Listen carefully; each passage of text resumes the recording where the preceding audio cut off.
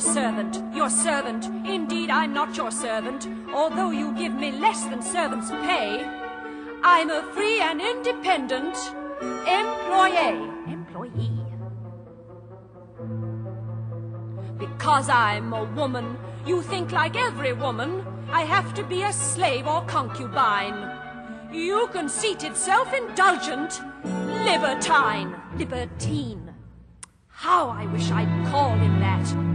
Right to his face, libertine. And while we're on the subject, sire, there are certain goings on around this place that I wish to tell you I do not admire. I do not like polygamy or even moderate bigamy. I realize that in your eyes that clearly makes a prigamy. But I am from a civilized land called Wales, where men like you are kept in county jails.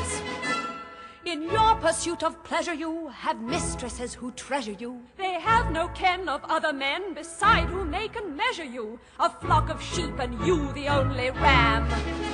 No wonder you're the wonder of Siam. Oh, I'm really rather glad I didn't say that. With the women right there. And the children. The children, the children, I'll not forget the children. No matter where I go, I'll always see those little faces looking up at me. Your Majesty. Shall I tell you what I think of you? You're spoiled.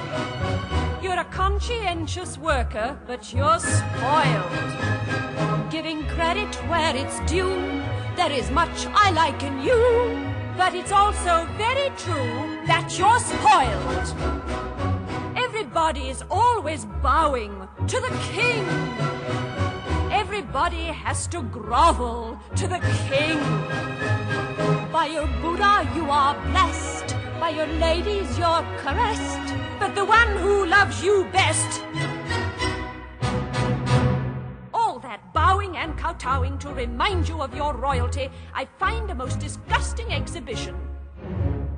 I wouldn't ask a Siamese cat to demonstrate his loyalty by taking that ridiculous position.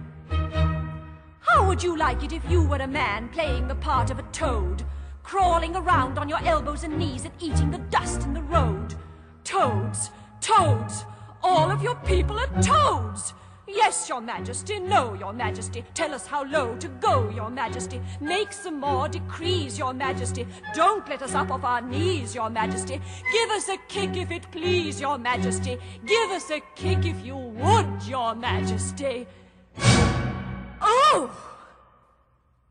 Oh, that was good, your majesty.